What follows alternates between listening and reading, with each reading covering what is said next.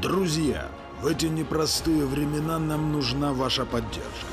Помочь антизомби в информационной борьбе против оккупанта можно по ссылке на донаты в описании. Все будет Украина, друзья.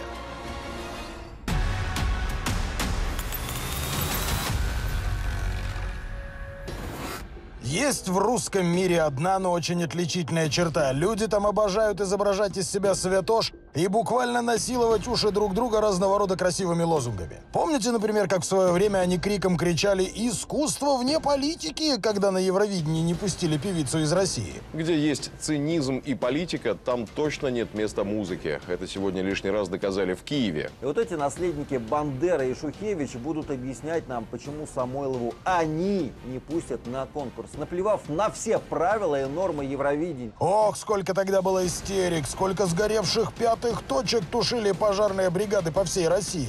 Официальный Киев, так много говорящий о европейских ценностях, в итоге угодил в собственную ловушку лицемерной толерантности. На глазах всего мира, оскорбив талантливую певицу в инвалидном кресле. Но знаете, в чем прикол? Ровно когда Евровидение в Киеве закончилось, Россия мигом забыла за девочку-инвалида. Она прямо говорит, что стало никому не интересно, как только исчезла политическая составляющая. Неспроста выбрали меня том году. Им нужен был именно персонаж с определенными качествами и некачественными недостатками. Ей даже номер на конкурс в следующем году толком никто делать не помогал. Подготовка к Евровидению все же не оправдала моих ожиданий. Потому что все, по сути, было спустя рукава. Было очень как-то достаточно все-таки топорно сделана работа. Вот такое оно искусство вне политики по-русски. Но проходит несколько лет, Путин развязывает кровавую войну. И что же мы видим? Включаешь первый канал, а там вечер поэзии. И ой, все стихи удивительнейшим образом о так называемой спецоперации. Их хотят на колени поставить, не зная, что русский солдат лишь в молитве может склониться. По-другому, увы, никак. Он обычный русский парень. Он, возможно, сам с Кавказа, из Москвы или Сибири, или родом из Донбасса. Ладно, время и музыку послушать, думают зрители, переключая канал. А там новый клип Димы Билана. О чем? Ну, конечно же, о мертвых детях Донбасса.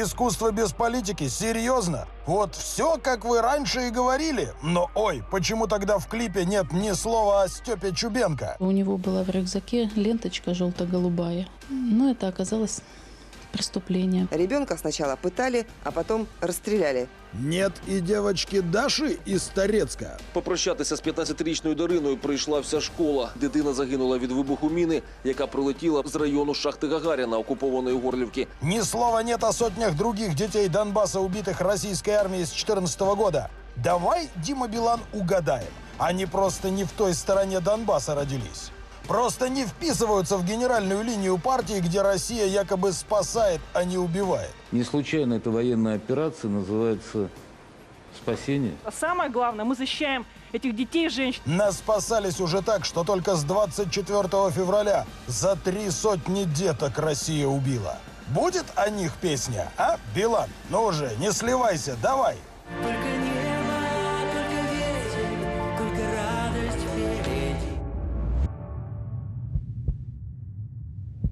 Но ответ, к сожалению, всем хорошо известен. Ведь русский мир построен именно на подобном цинизме и лжи, причем, знаете, лжи очень циничной. И это всего касается, не только искусства. Помните, например, как в России не менее патетично декларировали, что, мол, спорт вне политики? На спортивных мероприятиях нет места политическим лозунгам любого характера. И так они старались, и речи пафосные толкали. Вот это не просто скотство, а скотство в квадрате. Это политическая история. Если кто-нибудь скажет мне, что это имеет какое-то отношение к спорту, то я королева английская. Но вот началась полномасштабная война, и мы вам сейчас просто покажем, во что превратился главный спортивный спортивный канал России. Это бездарное логово чепухи называется Матч ТВ. Я не хочу видеть сборную Украины на чемпионате мира, потому что она этого не заслуживает, потому что это не спортивно, неправильно и несправедливо. Вы 8 лет бомбили на донбассовских ребят, да? Они сейчас вам ответы шлют. Здесь где несправедливость? Друзья, там каждый эфир такие визги и крики, что безумный Соловьев с его истериками. Представься, сволочуга, чтобы я тебя вывел в эфир. Давай твою харю сейчас покажем. А ну быстро сюда! Мы тебя за мошонку будем брать. Это просто пацан малый на фоне завсегдатаев Матч ТВ. А ты мою сборную моей страны, вы в том числе, и маляки ваши мерзкие, исключили от чемпионата мира. И вы мне после этого говорите, чтобы я о футболе говорил. Да вы не охренели. Это совершенно гнусная, мерзопакостная рожа. Я бы, конечно, ему плюнул в лицо. Думаем, не сильно ошибемся, если скажем, что такого нет больше нигде в мире.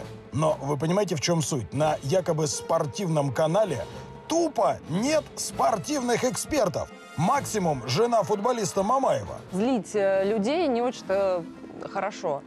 Поэтому такие вещи выкладывать, ну, наверное, не стоит. Все остальные приглашаются на шоу «Есть тема» исключительно по принципу «любит Путина и поддерживает войну». По победа русских в любом случае придет. И Укра этих мерзавцев, укрогадов, всех ждет э, ответственность. Мы очень смеялись, когда для неразборчивых спортивных хомячков из России в роли эксперта выступил вот этот великий чемпион по карманному бильярду. Если мы посмотрим правде в глаза, геноцид и уничтожение украинцев начался с 2014 году, год году и был системой террористического режима марионеточного террористического режима Запада. Помимо Кивы в тонкостях спортивного фашизма, россиянам помогает разобраться и Котя Долгов. Совершенно поехавший на, на украинстве, на ереси украинства человек. Да он всегда был такой. Да, он всегда Использовался был российской пропагандой поехал на как лучший друг. Но это тот титан, на глазах у которого в свое время пенсионерок с эпилепсией насиловали, ага. Женщину 47 лет, эпилептический припадок случился во время изнасилования на этом блокпосту. Отволокли автобус,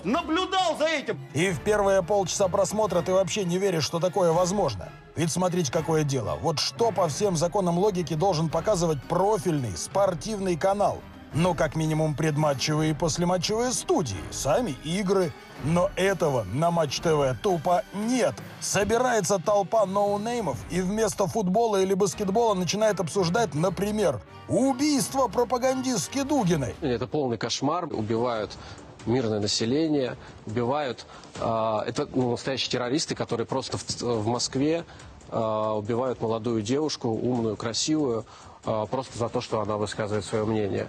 Такой терроризм, мне кажется, не должен существовать. А когда надоедает, они плавно переходят на тему фашизма в Украине. Ну да, и в самом деле, о чем же еще на спортивном канале говорить? А, и теперь уже точно невозможно оспаривать этот факт. Мы имеем дело с беспринципными террористами-нацистами. Террористами-нацистами. Если же шоу на Матч ТВ удивительным образом попадают на игру сборной Украины в любом виде спорта, сборищу фриков с раннего утра сознательно не вкалывают антиозверин. И вот уже спортивные болельщики с удивлением узнают, что сборная Украины по футболу, например, это почти СС-дивизия «Мертвая голова». Для меня сборная Украины по футболу сегодня такая же дивизия СС «Мертвая голова». Что я думаю про это? Я желаю, чтобы она сгорела в аду со всеми теми, кто ее поддерживает. Накричавшись от пуза о фашизме, додики из Матч ТВ переходят к своей любимой забаве – угрозам спортсменам из Украины. Достается прежде всего футболистам. И легендарный «Шахтер» оказывается в Украине неправильный. Донецких болельщиков «Шахтер», я думаю, уже потерял. Вряд ли можно сказать о том, что это именно донецкий клуб, э, это донбасская команда. И новую команду для Донбасс-арены они создадут. Я лично все-таки хотел бы, чтобы, ну, мое мнение лично, чтобы появился второй «Шахтер», который будет играть на Донбасс-арене. Этот день близок. Но это уже после того, как ФСБ поймает и осудит Ярмоленко и Зазулю. Злостных фашистов и карателей. Ермоленко, который вместе с Зазулей финансирует... Фи- Зазуля — это человек, который вообще там зигует и поддерживает Бандеру, и они вместе финансируют а, Азов, который, э, ну, реально там люди состоят э, исключительно из нацистов. Помимо Зазули и Ермоленко, черноротые пропагандисты любят поугрожать и Саше Зинченко из лондонского арсенала. Абсолютно уже сумасшедший э, Зинченко, Который э, финансирует. у которого там э, лицемерие со своими слезами зашкаливает окончательно. Э, и мы тут заговорили о Зинченко, один из главных спикеров этой команды, который э, ну, практически последние месяцы э, занимается только тем, что э, пропагандирует какую-то, какие-то политические лозунги. И знаете, друзья, э, если бы это были бабушки на лавочке или мужики после изрядной дозы пива, то подобные бредни еще можно было бы понять. Но это спортивный, общенациональный канал. И вот такой контент огромную страну на букву «Р», судя по всему, устраивает. Вот вот что я вам могу передать.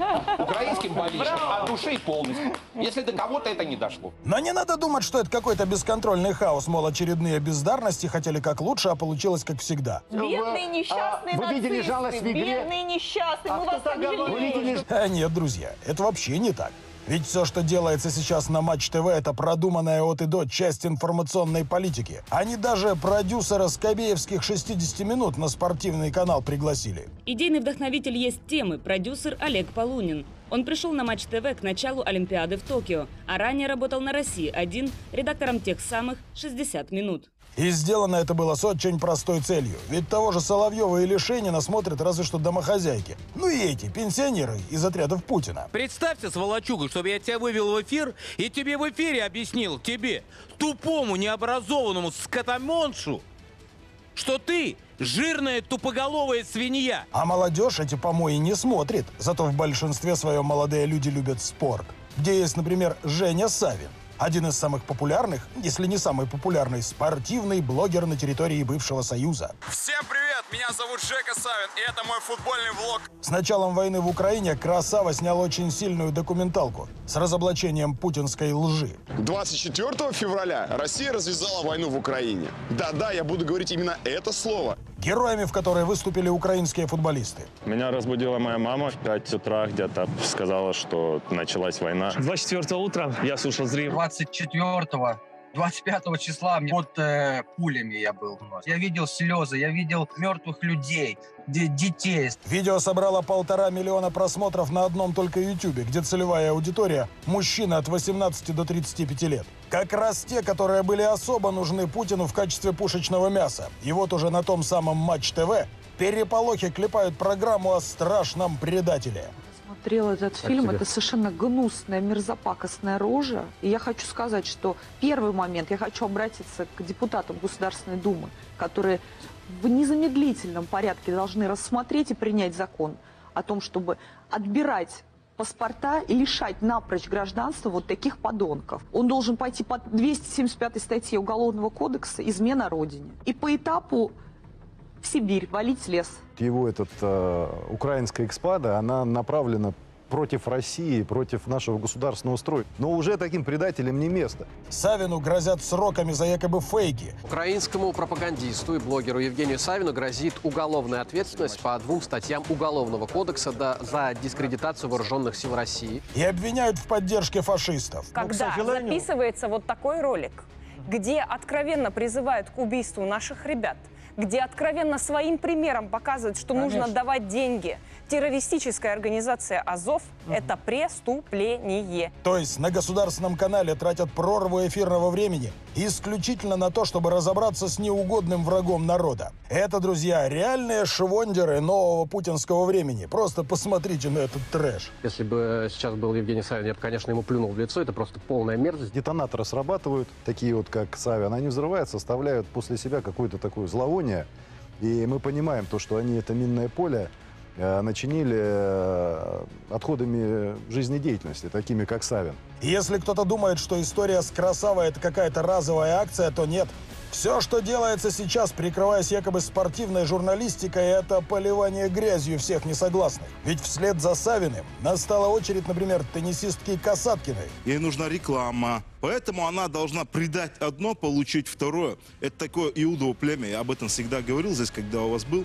Здесь нужно понять, ты делай, что ты хочешь, но ты страну не предавай. А вот что сказала после этого менеджер теннисистки, работавшая долгое время как раз на Матч ТВ. Есть тема фрик-шоу для косноязычных депутатов, псевдоэкспертов и людей, которые ищут пятиминутную славу. Целый час в эфире канала, на котором я работаю со дня основания, поливали дерьмом моих игроков. Но информационный поток из фейков, криков и грязи это, конечно же, не остановило. Ведь мнимых врагов России ой как много.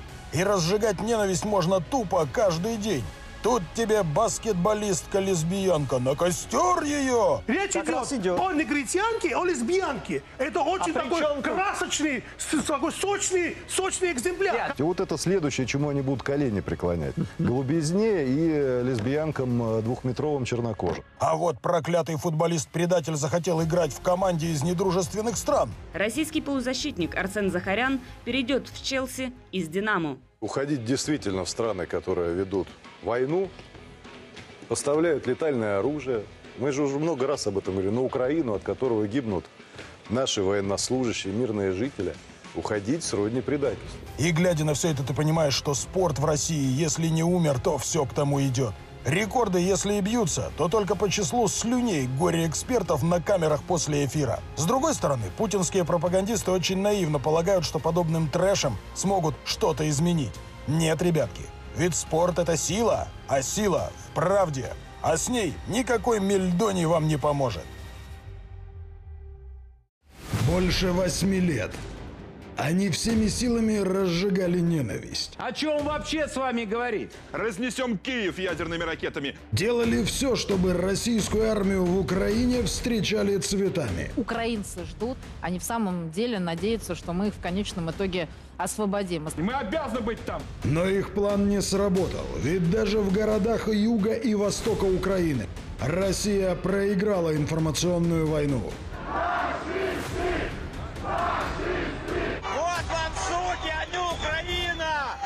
Чтобы сражаться за умы и дальше, командам гражданской обороны и антизомби нужна ваша поддержка. Вы можете помочь нам на нашем YouTube-канале, а также на Патреоне. Благодарим вас, друзья, за доверие и поддержку. Все будет Украина!